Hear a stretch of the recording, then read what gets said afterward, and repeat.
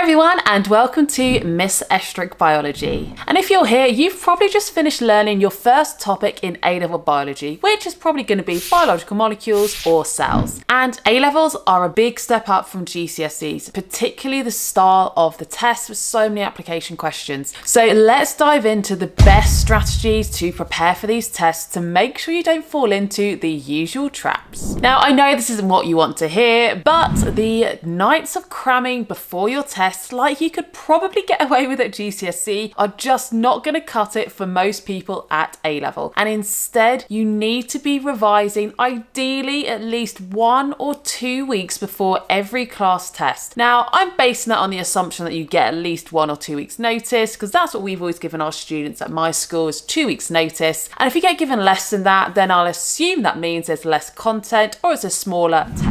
Now, the reason just cramming the night before an exam is not going to cut it at A level, whereas it might have done at GCSE, is because of some of the big changes in the types of exam questions. First of all, you have far more application questions at A level compared to GCSE, and the mark schemes are even more specific. And in order to improve at these types of questions, you have to practice. And practicing just a whole bunch of them one night before an exam is often not long enough for you to improve and develop the skill and and learn the key things that often come up on the mark scheme. Now, in terms of timings, what I'd recommend is in your first week of revision, so this is assuming you've got two weeks of revision for the class test, try to spend maybe 20 to 30 minutes every day revising. Now, I know saying every day sounds like a lot, but really 20 to 30 minutes is not a lot of time, and you can easily find that straight after school, or it could be in one of your study periods. Just dedicate 20 to 30 minutes every day in the first week of revision, and then up that to maybe 30 to 60 minutes every day in the final week before your test. And it is this consistency that is going to be your best friend. It might sound like a lot of work up front, but doing those smaller chunks consistently every day is the key to having that continual improvement in your exam technique and building those long term memories of the vast content that you do have to revise, even just for biological molecules or just for the cells topic. Now, if you do need a bit more help, help with tracking and planning this revision, then let me introduce you or remind you about my study tracker, which I'll link below. This is just an Excel spreadsheet which goes through every single topic that you need to know for your A levels. There's positions so you can tick off when you've revised it, and you can get ideas of what you can do for revision by looking at the drop down menu as well. So that's one big tip is being organized and managing your time. But now I'm now going to go through with you what should you actually do for your revision in that first week of revision, and then in your second week of revision to fill the 20 to 30 minutes per day and then the 30 to 60 minutes per day. So let's start with week number one of revision. What could you be doing? Now, week one of revision, your goal is to ensure that you understand the theory because if you don't understand it, you're not going to be able to remember it and you'll have no chance with those application questions. Now, the sorts of things you can do to make sure you understand this theory is reading over your notes. It could be watching my entire topic YouTube videos, but as you're going through them, you could could then be creating flashcards from that information. You could be picking out key terms, key marking points, which I emphasize in my videos and your teacher may well have emphasized in their lessons as well, or in my A-level notes and flashcards. It's literally emphasizing exactly what you need to know and key marking points and definitions. So in that first week, it's going through all the resources you have, reading over, testing yourself with flashcards, checking you understand the information. And if you are really strapped for time, you don't have the time to make your own study notes or make your own flashcards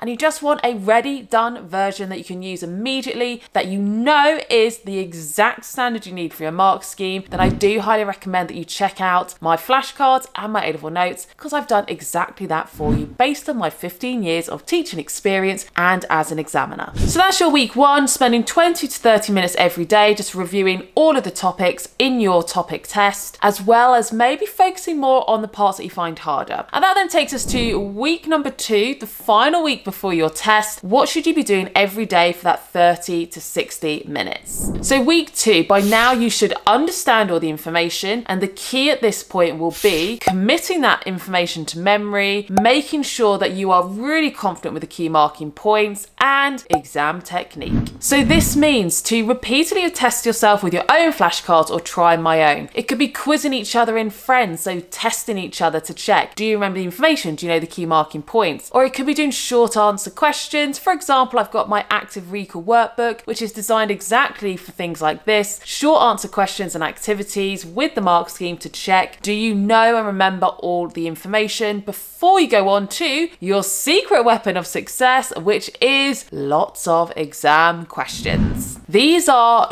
non-negotiable. You have to be doing past paper questions to make sure you make the max amount of progress, improve at your exam technique, in particular, knowing how to do those application questions and getting familiar with the mark schemes. Now I've got three bundles of exam questions on my website, arranged by skills if you want to do just application questions, but also arranged by topics. If you know you just need to revise biological molecules or cells, then you can just have a go at those questions. So again, that is linked in the description below if you want to get hold of my free packs of exam questions. But of course, you can get those directly from your exam board website as well as entire past papers. That is the key to achieving highly in your first A-level test, making sure you've got the understanding, testing your knowledge and the practice. Those are your three key steps. Now remember, it is completely normal and common to not do very well on your first A-level test and it's all just a learning curve. The first test is often quite a big jump up from GCSE, bit of a shock to the system, particularly if you haven't done lots of past paper questions. So please don't be disheartened if it doesn't go well. It's your first one and I'm going to be here as well as all your teachers to help support you along the way to make sure you make the maximum amount of progress and you learn from any test result that isn't as high as you would like. Don't forget to make full use of my entire topic videos on YouTube and any of the resources that I've talked about today, which are linked below to save you time and to give you the exact resources you need for success. And if you have made it this far into the video, please leave a comment below to let me know